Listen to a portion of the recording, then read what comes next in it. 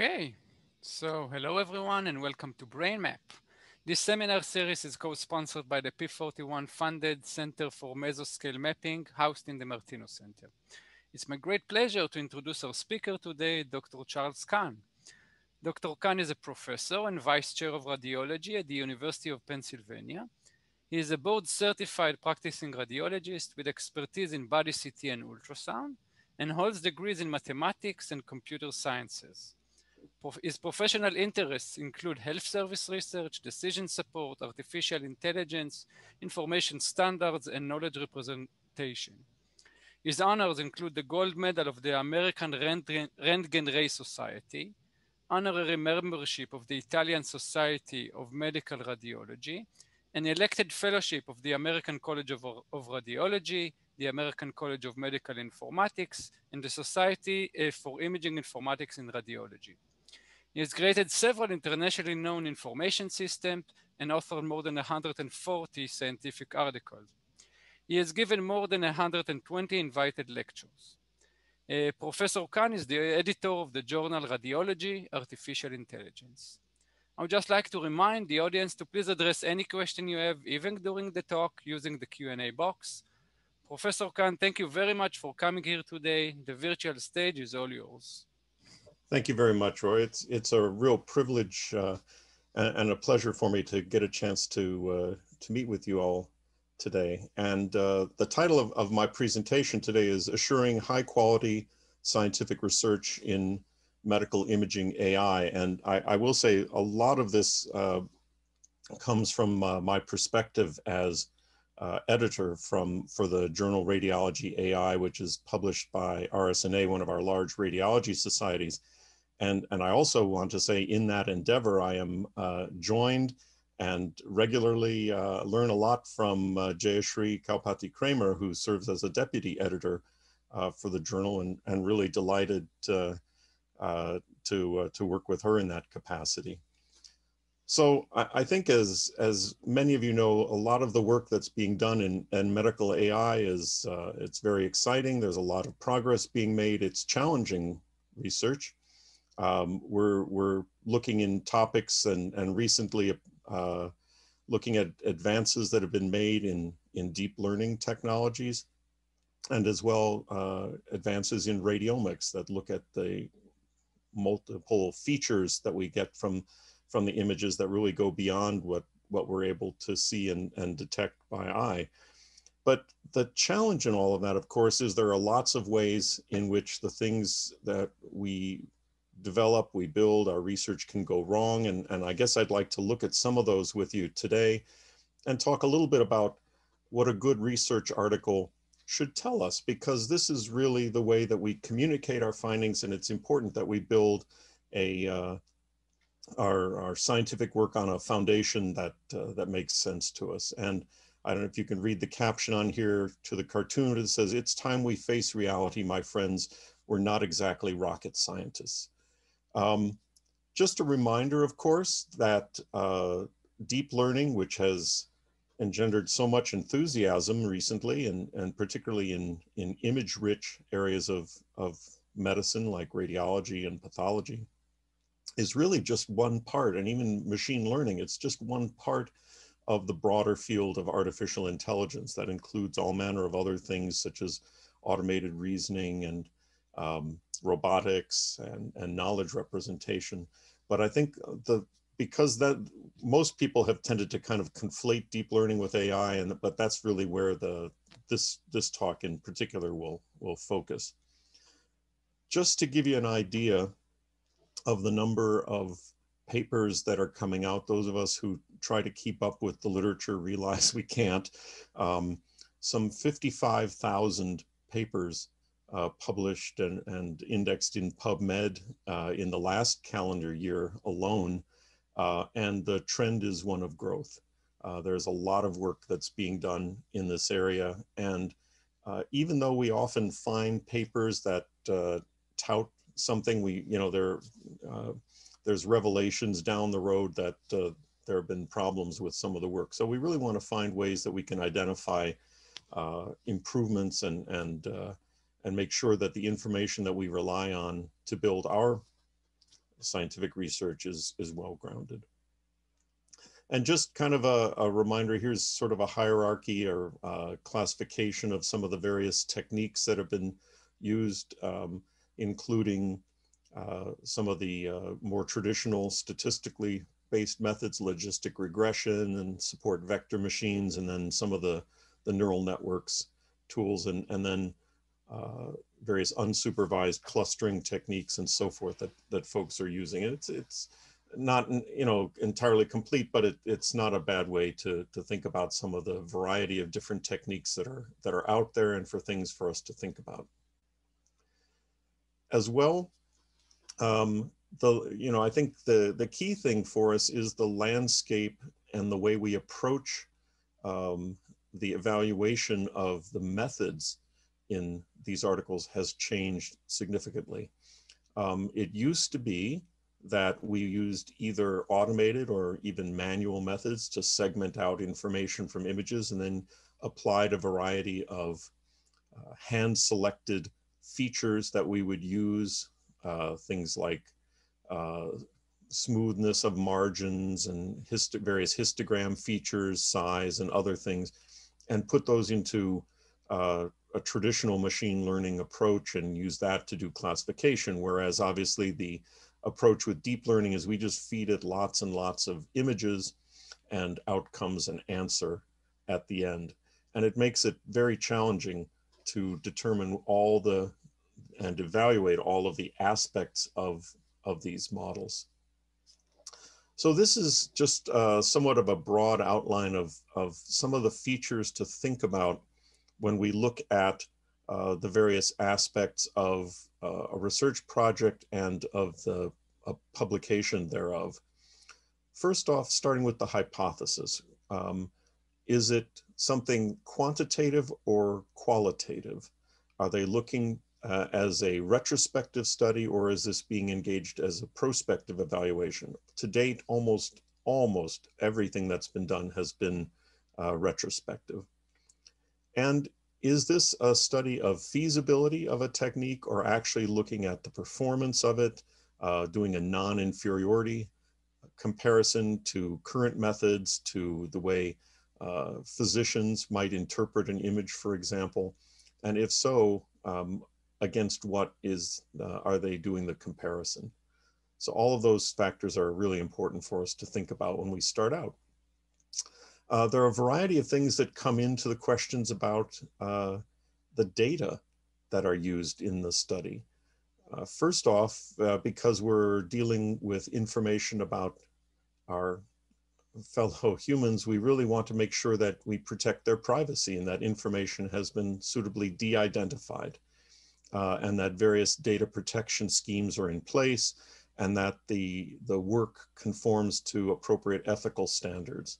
Um, it's a really critical and in particular for imaging information because so much of the effort of the research work goes into the preparation of the data for analysis that uh, we understand exactly how the data have been prepared and made uh, ready for the uh, for training a model and for its evaluation. So everything from data augmentation, how the data are have been partitioned into training, tuning, and testing sets, um, how the ground truth has been established. Uh, these are critical factors for all of us to uh, to recognize. For the AI model that's been applied. It's really useful to understand the architecture, uh, the software being used to implement it, how the model was initialized, if there was uh, some kind of pre-training uh, and, uh, and transfer learning was applied, and then uh, the rules that were used uh, to determine the stopping points for, for training and, and evaluating the hyperparameters and what the training rules were uh, in terms of looking at these factors. And then uh, looking at the evaluation of these works. Uh, there are a number of metrics, we'll talk about some of them, um, but uh, it's actually, there, there's a lot of work that's being done now to try to uh, standardize and come to some consensus about the metrics that we use for various tasks within uh, AI and medical imaging. And we're trying to see about um, how those can be applied. One of the things we don't see so often, but I think is tremendously helpful, is to have sensitivity analysis to be able to understand exactly how robust a, uh, an AI model is. And then, of course, to do external testing and, and the various statistical analyses are also key components of uh, the analysis of these works. So let's let's just kind of go and, and walk through what uh, what's included in in uh, in a manuscript, starting with the hypothesis.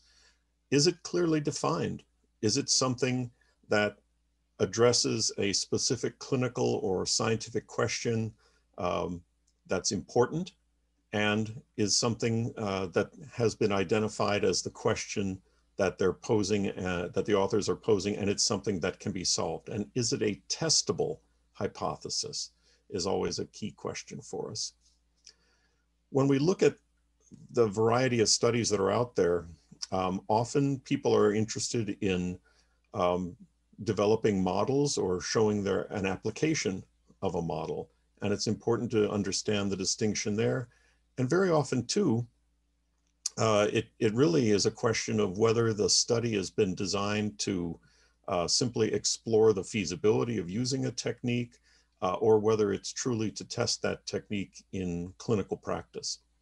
And then to that end, it's important to understand whether the work is being done retrospectively and being applied to a collection of cases that have already been accrued or looking to do a prospective analysis where one's looking to uh, apply the technique to cases that are fresh as they're as they're coming in. In terms of the data, um, we really want to understand where where they came from, how, how any of the variables uh, were defined um, for uh, for imaging studies. Certainly, knowing the types of uh, sequences, for example, and uh, how the how the uh, images were generated is is useful to us. And then if for particular variables that are being captured and defined, uh, it's if we can, uh, there's a real opportunity to uh, to build and, and standardize on that. And uh, there's an effort uh, that's been led by RSNA and the American College of Radiology in, to address common data elements for radiology in particular and uh, there's a site called radelement.org that's uh, supported by those two organizations that has additional information about, about those and has uh, particular definitions. It serves as a data dictionary effectively for those common data elements. Among the other things we want to think about when we look at uh, the data that are being used in a, in a study, what were the inclusion and exclusion criteria? Were certain patients excluded from analysis? And if so, why? Um, how did the authors determine the quantity of data uh, to be used in their analysis? What was the stopping point? Did they actually do a, a power analysis, for example, to determine an appropriate number of, of examinations or, or uh, images to include in order to assure that the statistical results that they get are, are valid? And for those of us in, in clinical practice, it's really interesting to try to under and important to understand how well the, the training data match the intended clinical use of the AI model. Um, and it really becomes critical, at, uh, particularly as well for the test set that we identify uh, data sets that, that match and, and model the range of patients that we expect to see in our own, our own practices. This is that uh, that website. Actually, it's the, uh, you'll see, if you go out to radelement.org, you'll see it looks a bit different. They've updated the uh, site since this version of it, but it includes a variety of data elements and uh, sets of of data elements, and it's been a really important effort led by these two radiology societies.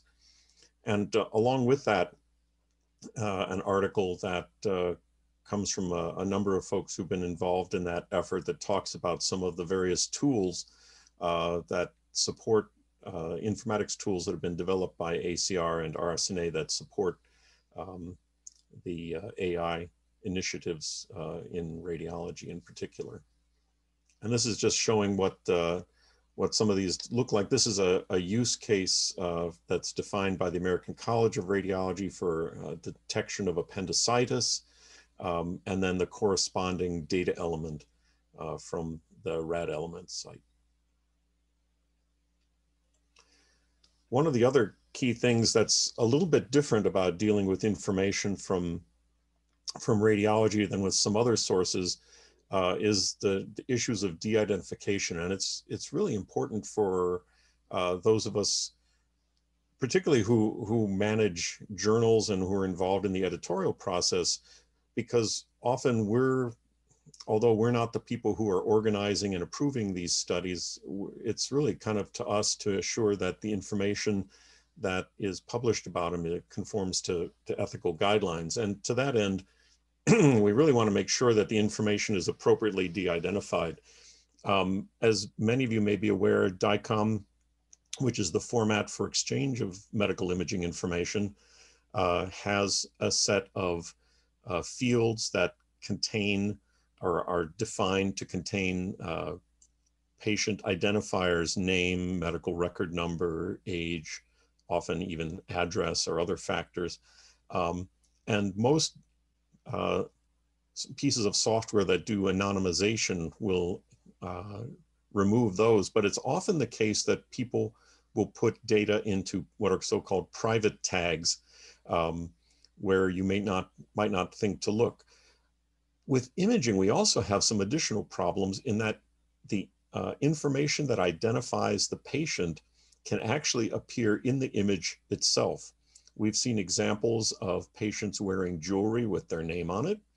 Um, patients who have uh, implanted devices like pacemakers will often have uh, a serial number that's visible on a radiograph, for example, um, which allows someone to identify them.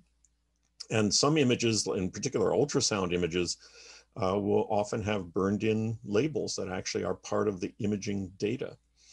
Um, as you see in the images over on the right, it's not difficult to take a 3D view of the head, either CT or MRI, and to generate a, a facial view from that. And in fact, a view such as, uh, as these is something that could be matched against driver's license photographs to re-identify a patient. And for the reporting, the text information that goes along with, uh, with radiology images, well, the challenge is often that patient names and provider names uh, can appear in those reports. And uh, there are some techniques that have been used, one of them called hide in plain sight, which if it finds a name, it substitutes a made up uh, some other name uh, instead with the hope that um, someone subsequently looking for that information uh, wouldn't, uh, wouldn't notice if you had missed one. Uh, there are some little tricks you can do, unfortunately, though, that, uh, that bypass that technique, and no one has really found a, a really ideal de-identification technique. We tried a lot of them, actually, our, our research group, against uh, a corpus of radiology reports. And one of the challenges is that um, reports do contain information, mostly date information, um, which we can date shift or, or just uh, uh, block out from the report, but it's often finding names because they occur so infrequently that can be a real challenge. And I, I love this, uh, this example. This was a tweet by uh, Alexandre uh, Cadrin um, where he took uh, three members of the uh, Canadian Association of Radiologists who apparently uh, all serve on the uh, AI committee for that society and, and I don't know if it's a requirement that they all have head MRs, but they all seem to. And the, so the, the game here to be played is can you match the, the uh, MR images with the, uh, with the facial profile and with the photograph of the member of, of their group. And in fact, it's, uh, I think you'll find it's, it's not all that difficult to do. So I think it, it was kind of a fun little, little point, but it is, it's a valid concern um, that we have to address that um, even taking out uh, some of the skin information in the soft tissue may not be enough if people can actually, I suspect people will be able to model off of uh, even the, the skull profile for a lot of these. It won't look like a facial profile image, but it's one of the challenges I think ahead of us. The other part, and this isn't so much something that, that we think about necessarily when, when reviewing an article, but I think it's really tremendously important for all of us to think about, and that is um, if we don't look for potential of bias in the data sets that come with AI, uh, in the manner in which AI systems are uh, tested or deployed, I don't think we'll find biases. And um, these can often be insidious. This uh, report from Obermeyer that I think many people are, are familiar with um, found racial bias in an algorithm that was used to uh, direct healthcare resources. And it did so based on the fact that historically Black patients had received less healthcare resources. And so it inferred that that was the behavior that it was meant to uh, emulate. And uh, that was the correct answer to the problem. So I think we have to be extremely careful about all of these things when we, when we look to implement these algorithms. And if we don't look for potential biases, uh, we won't find them. I think too, one of the key issues for us going forward is identifying what the ground truth of, uh, of these exams is. Uh, we need to know that uh, whatever the answer is, it's well defined. And we really want to have a sense, uh, if we're looking at the scientific value of a study as to, to who or, or what, in the case of an algorithm, annotated the information and made it available to us. What were their, the qualifications and training of those individuals? Uh, what instructions were they given on how to annotate the data? Uh, what was the variability, uh, both uh, inter-rater and intra-rater variability? And was it done if, if by more than one annotator, was, was there any attempt made uh, to look at uh, the variation between the two? Or were they blinded and, and how were any discrepancies adjudicated?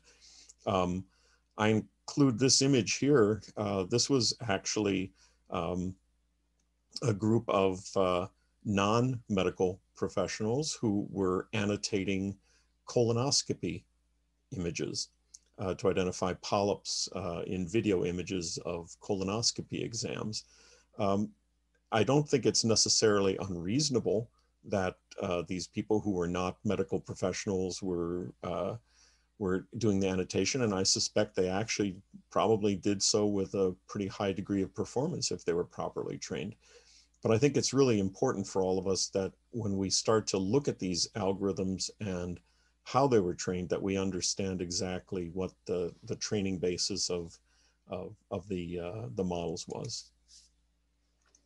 And this was, to, uh, just as an example, this was uh, work that was done for the uh, pneumonia detection challenge that RSNA conducted several years ago, in which case that they had for um, the test set, they had uh, they took the uh, chest X-ray 14 data set that NIH had released. They took some 30,000 uh, images uh, from that set and had, in this case, three expert chest radiologists label the images and draw bounding boxes on them to identify the areas that had pneumonia. And then um, if uh, to, to resolve discrepancies, what they did was they took the intersection of those three bounding boxes that were drawn by the, the three radiologists. But it, it, it really shows, and I think one of the, the challenges, and you can see there's a fair amount of difference here and, and kind of overlap of how, uh, how, how different people approach this and, and the, the different sets, but it actually provides a lot of valuable information um, for uh, for researchers and but also kind of an important lesson for all of us as to um, how to go about striking ground truth with these exams and uh, knowing how that is done uh, is one of the things that that helps us better evaluate the uh, the work that's done subsequently. As, as most of you, I suspect, know, much of the work that gets done in AI is not the algorithm building, it's, it's wrangling the data and knowing exactly what kind of software, the versioning, the libraries that were used, the, the specific options is tremendously important. How the data might have been normalized, whether data augmentation was performed, these are all important parts of understanding uh, the work that's been done. Um, in terms of data preparation, a lot of times much of the work is normalization. It's resampling an image, uh, putting it into a different image size or bit depth than the way it was acquired. Um, perhaps it's uh, adjusting it to a certain uh, window and level scheme, but all of these things are, are critical for us to understand uh, how the data were prepared and, and again, to give us a way that we can understand better how, uh, how suitable this information is to generalize going forward. Um, a lot of techniques for data augmentation uh, that have been, been used, and certainly many of the things that you would think uh, might work uh, don't work so well in, in medical imaging. Uh, so for example, if you have a, uh, a head MR image here, um, it's reasonable to do a horizontal flip, but you couldn't do a vertical flip. You really don't want to put the parts of the brain that are posterior and flip them with the parts that are anterior. That would not be appropriate. Um, but there are some ways that you can do some affine mapping, maybe some scaling. You can kind of slide things a little bit. Um, and there are ways that you can, can change the image uh, with, with the hope, of course, with all of these augmentation efforts that what you're really doing is helping the AI model learn the variations of an image that are not important so that the patterns that it eventually trains on and sees are, uh, will be the things that actually are, are the features of the image that you want it to capture. And then understanding how the imaging, the AI model was was trained, if there was some kind of pre-training of it. many of the um, systems that we use now come pre-trained uh, and using ImageNet. Uh, the challenge with that, I mean, it, it's ImageNet's an amazing resource, but of course the challenge for us in doing this is th these are all based on photographic images, not uh, medical images. Um, and they're all typically color images, and that means a different bit depth. Um, so it, it's uh, we we don't yet have a, a, medical image net that we can we can train on, but that may be one of the goals. And and given the success of ImageNet, and and to be honest, you know that, that even the current systems that are built off of ImageNet function pretty well in in medical settings. Another piece of information that we need to understand um, how well a, a a piece of science is being presented was how the data were partitioned. Um, we expect that the partitions are disjoint. Uh, typical ratio, as you see here, is 70% being used to train the set, 20% uh, as the validation set or tuning set, and 10% typically for testing. Uh, but it's tremendously important to understand if there are any differences. Um, very often it's the case that um, if one is looking at a very rare condition, for example, or one that occurs infrequently in, in the, the uh, training data set, that one might look to enrich the test set to have more examples of that um, to, to assure that the system is functioning properly. Um, we also want to make sure that this, the uh, study data are appropriately disjoint, that uh, we've separated out by um, typically uh, at least by patient. Because um, I've I've seen studies that people have uh, submitted to the to our journal where um, it, it hasn't been that uh, every other image was you know one was test and and one was uh, training but you really don't want images being used from the same patient uh, because they're going to look so similar potentially from one uh, slice to the next that that would uh, tend to game the system and, and make the results look artificially better than they are. There are a large variety of architectures.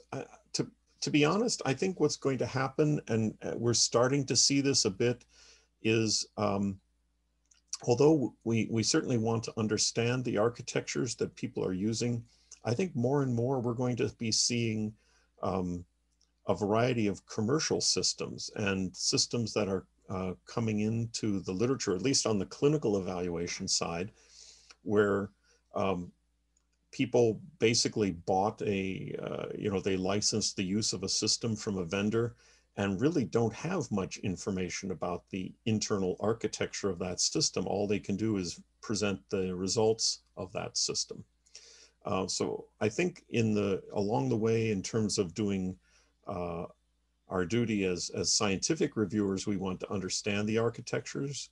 Uh, but I think increasingly, it uh, more and more of this may be rather opaque to us.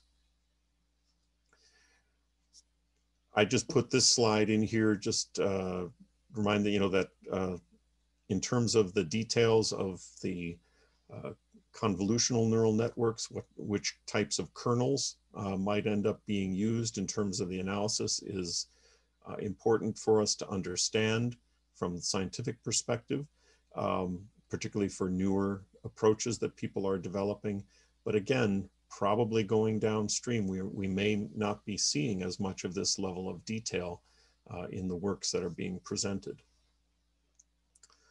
In the way people are looking at evaluating models, it's, it's really important too to understand um, how many models were built by the developers and evaluated against the test set and how were those models selected. Ideally, they identified one model. Uh, if they developed more than one model. We'd like to understand why.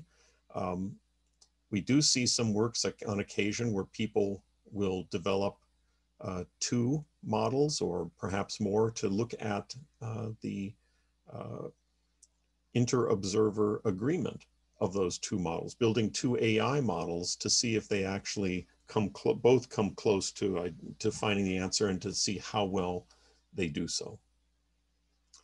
Um, I think many of you may also be familiar with uh, this study that was published in the Korean Journal of Radiology, where the researchers looked at some 516 studies that had performed machine learning work uh, in, uh, on medical imaging information and found that only 6%, 31 of those studies had conducted external validation. And of those 31 studies, uh, none of them had uh, adopted all three of the design features of uh, identifying the diagnostic cohort, including multiple institutions, and doing prospective data collection for external validation.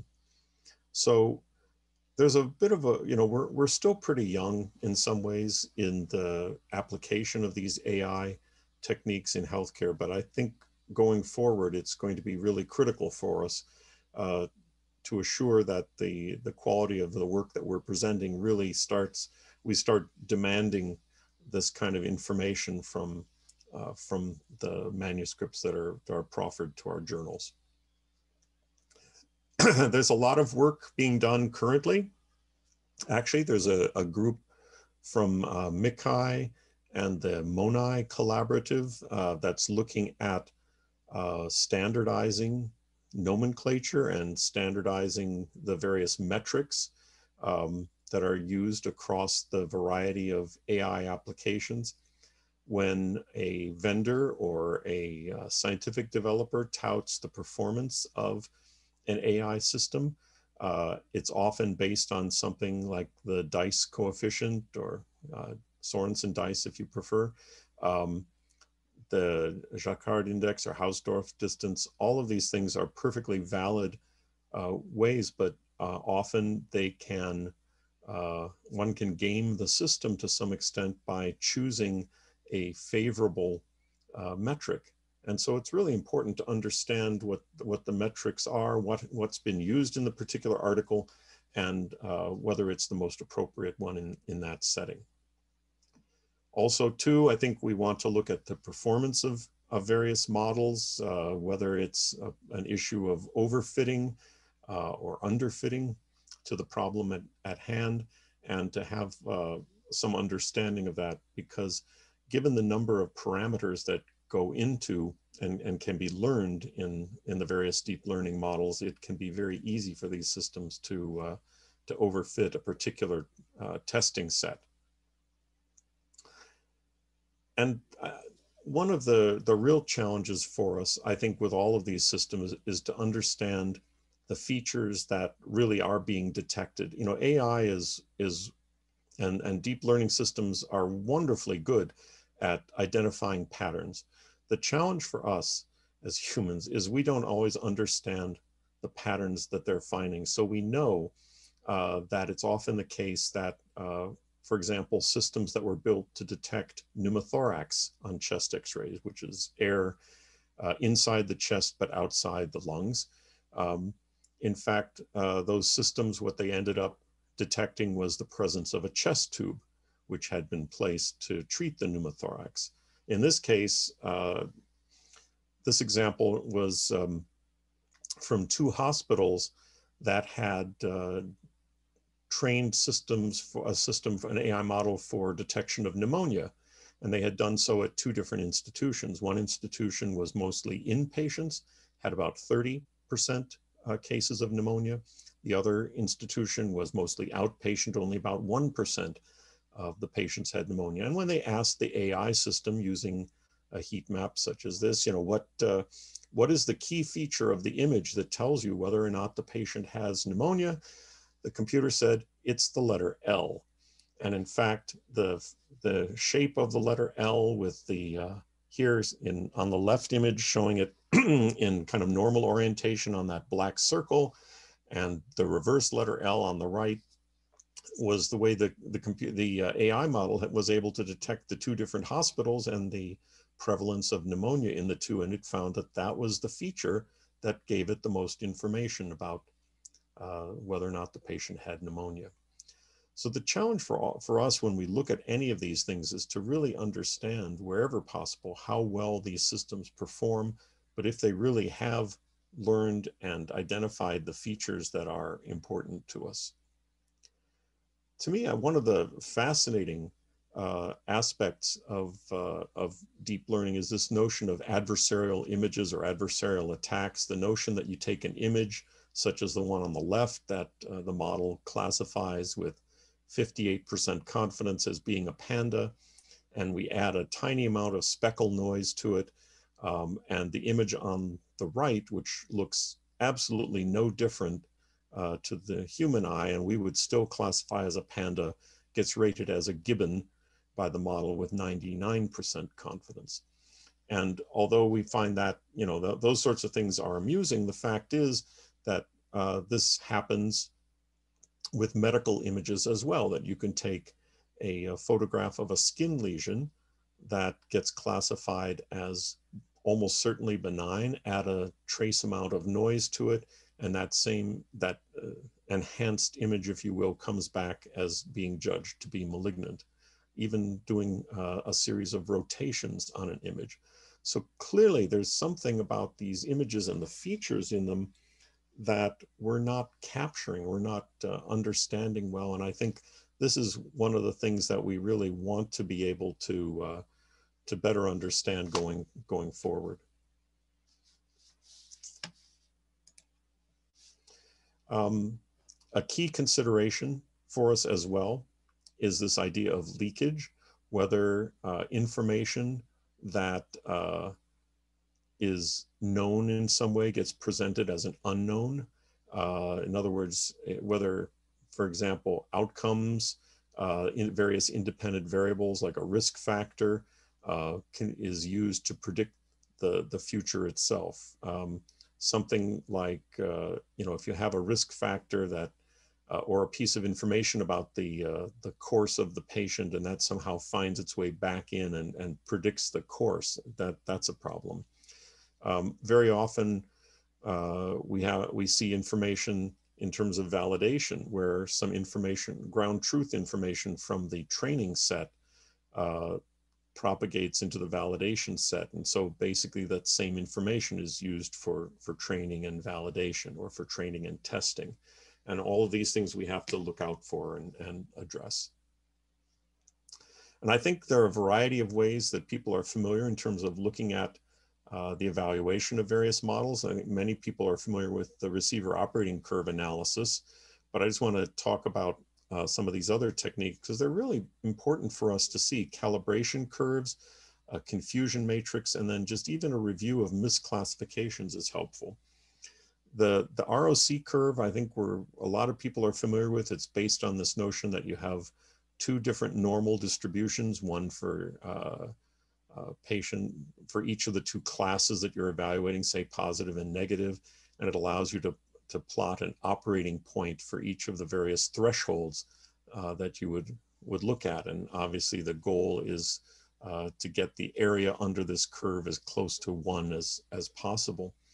Um, I think this is kind of the typical way that we often look at these, but it, uh, it can miss the point too, in that is, um, depending on the setting, it can have different utility, different value to um, identify patients at the more sensitive end or the more specific end. And in fact, um, it often can be the case that based on the various utilities or disutilities of identifying something as a positive finding, you may want to set your operating point accordingly. Um, so, uh, and that depends on the nature of the disease, the costs of exploring it, for example, and, and, and potentially the costs of missing uh, a finding. Calibration curves, I think, are a little less familiar to, to many researchers. And what they seek to do is to show the agreement between a model's predictions and the observed outcomes. So for example, um, if you have a group of cases that you subset out and you've identified those as the ones that the model predicts as being positive with 70% certainty, then the model is well calibrated if 70% of those cases actually are positive. So this was some work uh, from uh, that I did uh, collaborated on with Beth Burnside uh, several years back. Um, and here we're presenting uh, the actual prevalence of malignancy versus the estimated risk and looking at each decile. So breaking it into uh, various groups in terms of the probability scale but it gives you an idea too of um, the performance of a model and not just information uh, about the, uh, the ROC, but it actually shows you at certain points uh, along the curve that the model may over or underestimate uh, the prevalence of disease. And it's important to understand that in the way you apply the model. I find it really helpful if, if people are doing a, uh, a prediction task to show the confusion matrix to show how many cases were assigned correctly, but actually to see if there is a pattern as to where they were assigned incorrectly. I think this is tremendously important information. And along with that, this was actually from, in fact, the first paper that was uh, published uh, in the Radiology AI journal looking at wrist fractures but actually presented some illustrations of cases where their algorithm uh, both found false positives and false negatives. And that's, I think, for those of us, particularly on the clinical side, it's really useful to understand what types of issues these algorithms have trouble with. And it lets us, therefore, uh, take that information into account when we um, think about the outcomes and, and use these systems as, as part of the, the clinical milieu. So in summary, I mean, really to, de to deliver high quality science, we want a hypothesis that's well-defined, testable, and innovative. Uh, we want to know that the methods that have been applied are appropriate to testing that hypothesis. We need to see them described in detail uh, and using the correct metrics. The results, uh, we really want an appropriate level of, of detail to understand the work. And then the discussion in a scientific paper really should do four things. It should summarize the results, not restate them, but, but provide some summary understanding of them. Place that work into context so that we understand why these results are important in relation to prior work that's been done describe the limitations of the current study uh, so that we, we know what, uh, uh, what the authors saw as as flaws. And no no study is perfect. Every study has limitations, but it's critical that we understand those and be able to take those into account. And then we can use that information as well to help us envision what's the next step. How can we incorporate that information into into further research? So just a couple of uh, resources for you to look at. This was an article uh, in AJR that talked about uh, various metrics and, and I think uh, probably more for clinicians rather than for AI researchers, uh, but trying to understand some of the evaluation metrics and how people look at uh, machine learning. There is a radiomics quality score that was published by uh, Lambin uh, that is uh, useful for understanding uh, the various uh, approaches to uh, evaluating radiomics manuscripts. Our group actually published something called CLAIM, the checklist for artificial intelligence in medical imaging. It's not radiology specific. In fact, we really built it with the intent of looking at uh, all types of medical imaging tasks, but it, it it's built on the STARD guidelines, which are used for reporting uh, diagnostic uh, results, accuracy of diagnostic studies, uh, but really focused on uh, providing more detail into AI and particularly for medical imaging studies. There are some specialized things to think about uh, as, as we discussed uh, in terms of the pre-training transfer learning, the data augmentation and such that are, that are particular to imaging.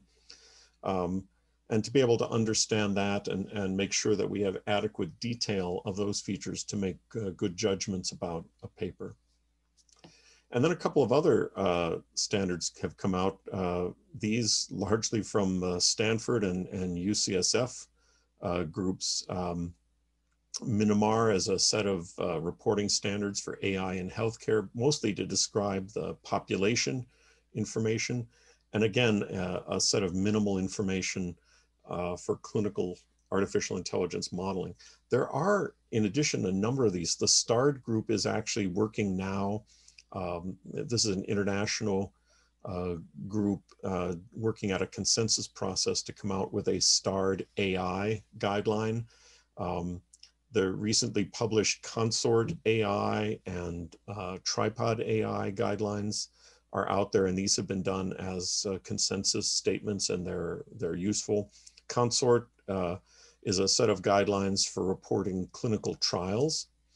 Um, and then uh, this was uh, a plea by uh, Seong Ho Park and, and Herb Kressel. Herb is a past editor of the journal Radiology, um, looking at how we can connect innovation in AI and how uh, peer-reviewed medical journals can help support that process uh, through rigorous validation and, and other approaches to assure that we really do drive high quality science and, and help the field move forward.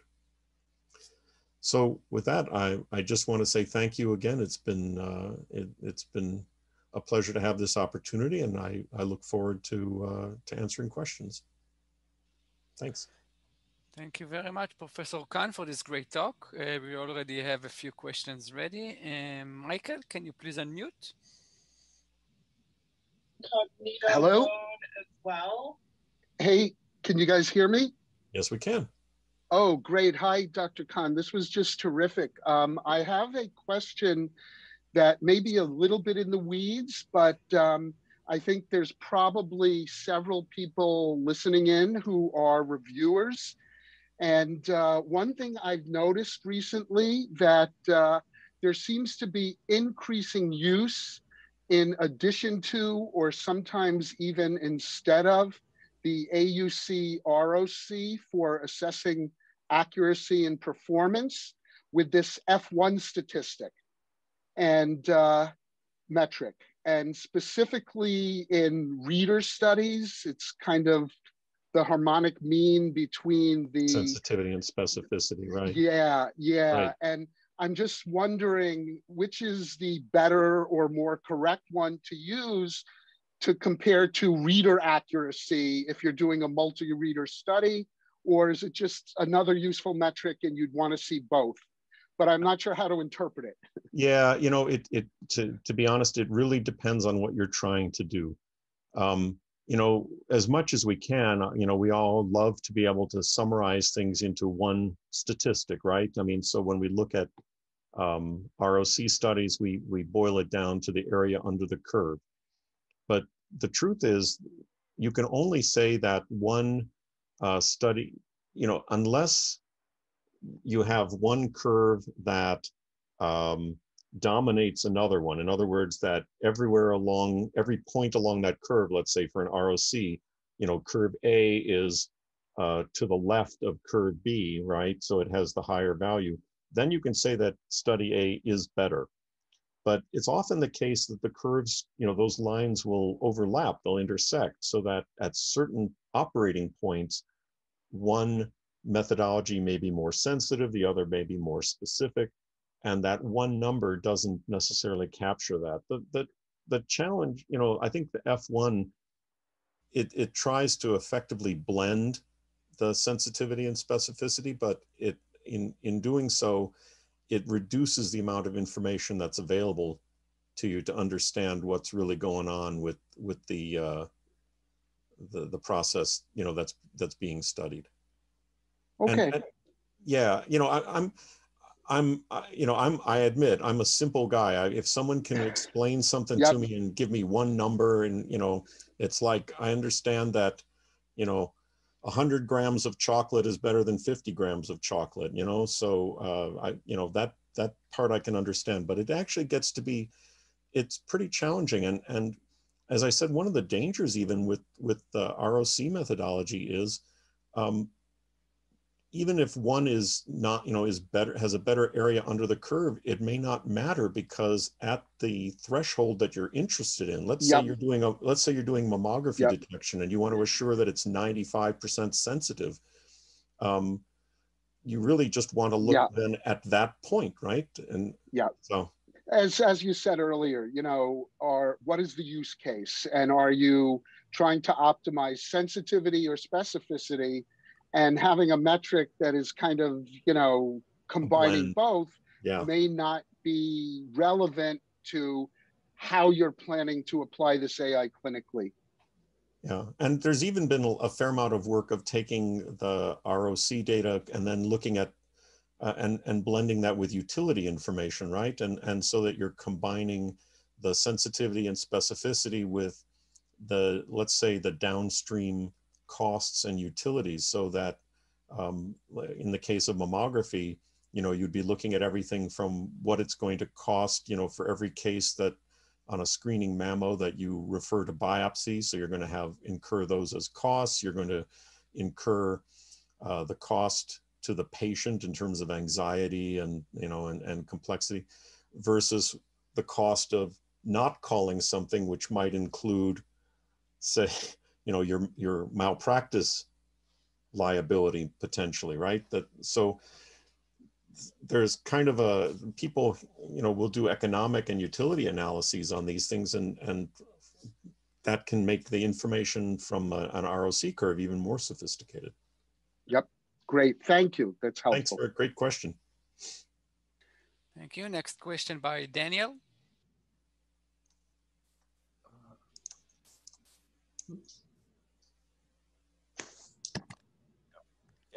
So, uh, hi, uh, I had a question on uh, interpretable machine learning. This came up in our uh, in our journal club, uh, making models that have human interpretable um, parameters, and they argued that that's really key in high stakes decision making, such as medical.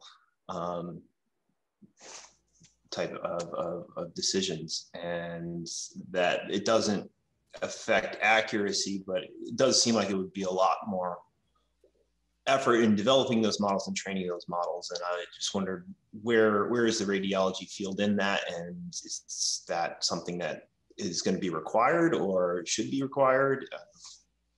That's it. Thanks, Daniel. That's a great great question. Um, the uh, you know, I guess to some extent, well, for example, the WHO just announced that uh, they're going to, uh, you know, they they're going to kind of recommend that AI read chest radiographs for TB rather than humans, right? And so there, you know, you kind of said, well, the system it works, it works well enough. Does it generate explanation? No.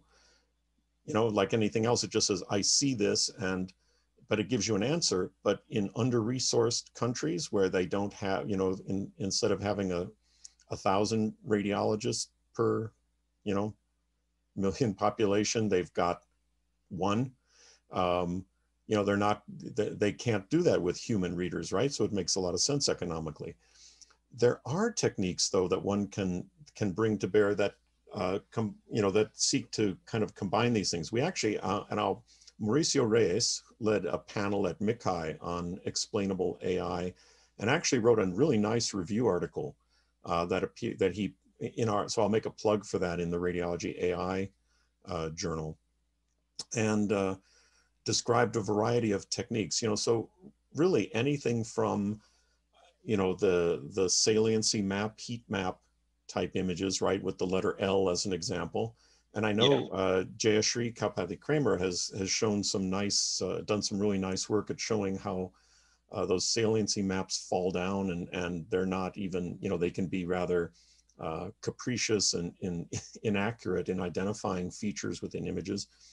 Um, some other nice work actually uh, combined using deep learning to identify the anatomy and identify the features and combine that with Bayesian networks to do the um, uh, generate the diagnosis, for example. So the, the deep learning system says, okay, I know that there's increased T2 signal in the putamen. I don't know what that means. And then having a Bayesian network layered on top of that, that says, you know, in this disease with patients with, with this age and, you know, sex that, uh, you know, the uh, probability of having increased T2 signal is this and then using the Bayesian network. And the advantage of that is the Bayesnet, you can generate explanations out of it. Um, personally, uh, I get, so um, I, I, am generally suspicious of, of neural networks because I don't know what the heck is going on inside them. Um, yeah. The problem with neural networks is they work. Um, yeah. You know, often they generate amazing, fantastic results. And maybe they get it right 99 times out of 100. But, you know, it, it depends kind of on what that stake, you know, what the stakes are. It's kind of like, you know, the, the self-driving cars, right? I mean, they, you know, if, if you told me that a self-driving car was perfectly good at 99 out of 100 miles, but on that, on one mile out of 100, it was likely going to kill somebody, um, you know, we, we might have a problem with with that car. Uh, so yeah, yeah, the, the authors pointed out exactly these these these two cases here, and you know, they as an example of low stakes, it's like advertising. Well, you know, who cares if you get the wrong advertising? But yeah, do I want to be in a self-driving car when I don't really know what it's actually focused on and why it's making the decisions to turn left or stop or go? Um, you know that gets a little bit less comfortable because I don't know if I really trust this because I don't really know how it works inside. Well, and and you know, in a way, the to me these adversarial images, the adversarial attacks, um, mm-hmm. highlight in a way exactly how much we don't know about what goes on inside these models because that panda should still be a panda after adding a little bit of speckle noise to it, right? So yeah. what is it about the image that all of a sudden became more Gibbon-like?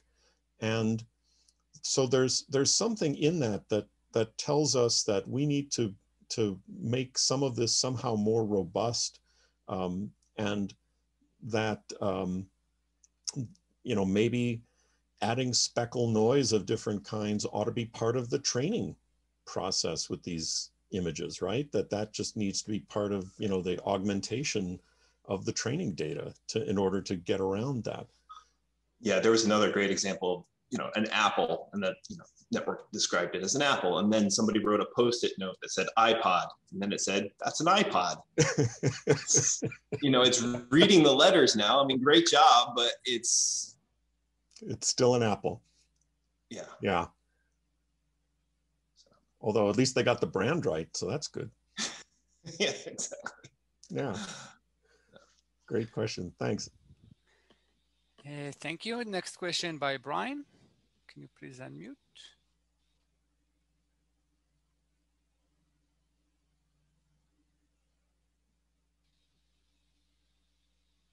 Brian, can you try again?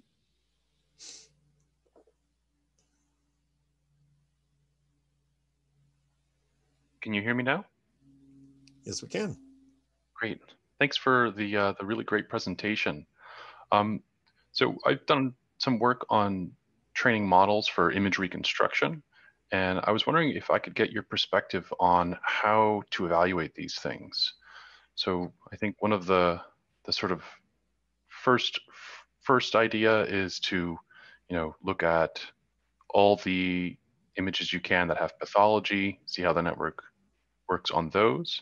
But then how, how do you know when enough is enough? So I think, you know, maybe maybe you can try and apply some of the methods that you use for you know quantitative models when you have a diagnosis based on the reconstructed images.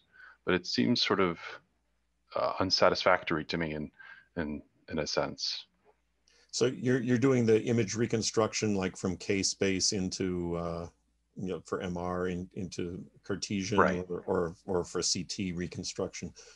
You know, I, first off, I will I'll just start by saying I was the first time I saw people doing this, I was kind of blown away that we could actually do you know do this as a deep learning based activity instead of an analytic method, right? Instead of a formula based um, method you know, I, I honestly, I, I will say this is not my particular area of expertise. I don't know uh, in particular what criteria people are using. Obviously, they're using, uh, folks are doing various subtraction images and, and looking at the various features and, and looking uh, root mean square error and various other kinds of metrics. Um, but I think it's going to take a little bit of nuance. We, you know, if I if you go back to some of the like the uh, iterative reconstruction methods that people developed for CT, uh, going, you know, at the beginning, the images looked quite really quite good. But what we started noticing was that, for example, around the periphery of the lungs, there was a loss of detail. Um, and I, I so I guess what what I would most encourage you to do is to you know depending on where you where you're going to be applying the particular uh, application that you're doing get some get some clinical folks involved and and make sure that they identify some some images. I mean now the flip side of that is we're seeing some great applications of it right in terms of being able to remove uh, you know a lot of the problems that have bedeviled us things like uh, streak artifact in the pelvis and, and all of that uh, from you know orthopedic hardware or um, various other things. So. Cool. Thank see, you so much. I see we're at the the top. We're a little past the top of the hour here. I don't know if we need to, or if we need to.